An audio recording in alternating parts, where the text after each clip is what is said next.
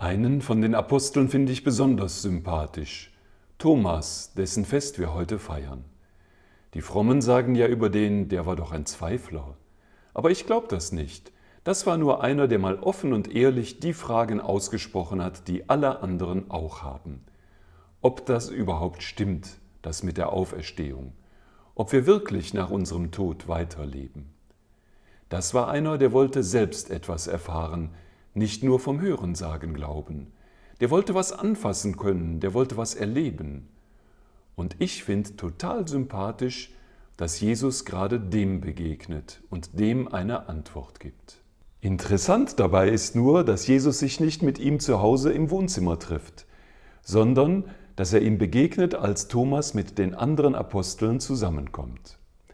Wäre Thomas nicht zu dem Treffen mit den anderen Aposteln hingegangen, er hätte keine Antworten gekriegt. Ob man nicht deswegen doch mal ab und zu in die Gemeinschaft der Glaubenden, in die Kirche gehen sollte, auch wenn man viele Fragen hat, auch wenn man manches bezweifelt?